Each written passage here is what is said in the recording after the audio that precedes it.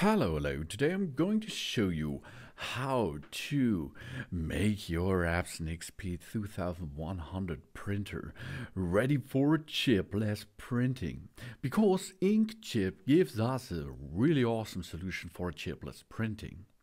The Inkchip provides the best way to update the printers with chipless firmware. We can update our Epson printer with the Inkchip um, chipless solution and we set ourselves free from worrying about chips. All we need for printing is just um, keeps our ink level up. That is all. No trouble anymore with replace cartridge or reset the chip. We have the full ink level all day long.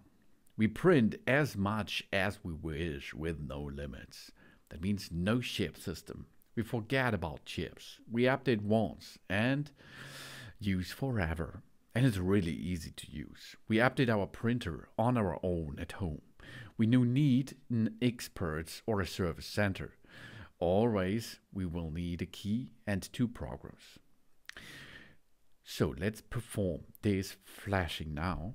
It's really easy. The um, updating process needs, of course, the printer. And we will need the print firmware into a chipless. Um, we will need the Inkchip firmware program compatible with our printer model. We will need the Inkchip activation program compatible with our printer model and a computer with a Windows operation system and the internet access, of course. We will need a USB cable this is a printer USB cable and the Inkchip activation key. The Inkchip activation key we can purchase on the Inkchip um, website and then we can start to make this printer chipless anymore. So let's start. We are going to connect the printer to a Windows computer for this, we're using a USB cable. And this USB cable is, is an old school printer to USB cable, as you can see. And after this, we um, we paired them easily by pushing the USB cable into the printer and the other side the USB plug into our computer or netbook or notebook with Windows operation system. After this, we turn on the printer, of course. Next step is we go to inkchip.net or inkchip.net um, homepage, of course, and then we download the Inkchip firmware and the Inkchip activation tool for our printer model from the inkchip.net. In this case, it's an XPAC, an XP 2100, but it's possible to do this on on a big bunch of um, printers out there with that firmware because they are using um, the same firmware for it. Okay, we launched the Ink um, chip firmware program on our computer after we unpack all by using the RAR file. Then we go to inkchip.net firmware and of course we read the instruction and we read every um, the license agreement that the marker the uh, posted i agree and then click the button to next. We click um, to start the button and accept the warning about updating the firmware of course.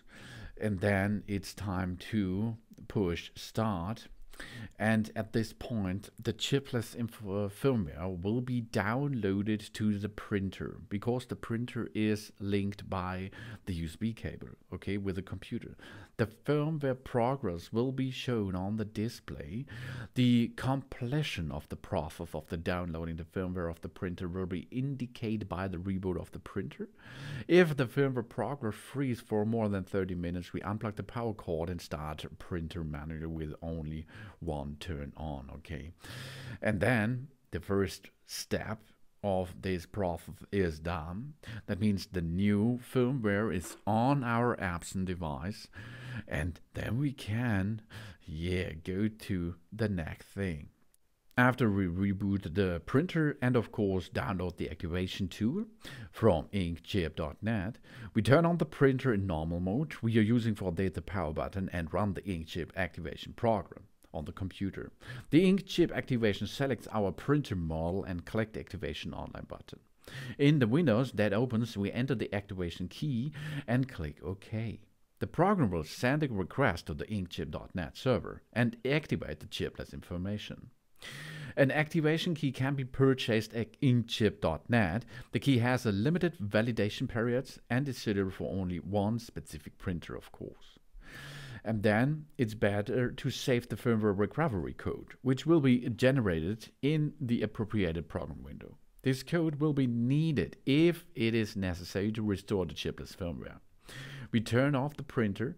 Using the power button, the device is flashed into a chipless version. Job's done easily as you can see. But take care, you will need the recovery code if you uh, like to go back, okay? After rebooting now, that's all, okay? We are finished here. That's all. The only thing we have to activate, push activate online in the activation tool, and then of course we have to um, to store the recovery code. Then we have to reboot the Epson printer and we can see the printer is um, unchipped. There's no chip requirement anymore. That means Inkchip gives us a solution for chipless printing now. Inkchip updating the list of supporting adding chipless solution for all new models, of course. And here it comes with that Epson XP 2100 with a really good running version. And it goes so easy as you can see. And then it's time to print without place cartridge at the chips or other information. We are only on a run. Of course, we have to check our ink status by ourselves and we have to reload the ink into our cartridge system easily at ourselves. So we can save money and we do the best for our planet. This is easy as you can see. There are only, mm, only I think it, it was only five steps to make a good old printer out of it without chip. Inkchip that's a good solution for it. Thanks for watching please subscribe me and give me a positive feedback and I hope to see you again on my channel. Soon soon. Oh, of course. You should not perform an update via the Epson servers because the Epson server will give you an Epson firmware. So maybe you will delete this um, update process check thumb in your taskbar, okay? That it is. And of course, keep your ink up all day long because an empty ink will get some um, oxygen bubbles into your printer head and this is not so healthy for the printer itself.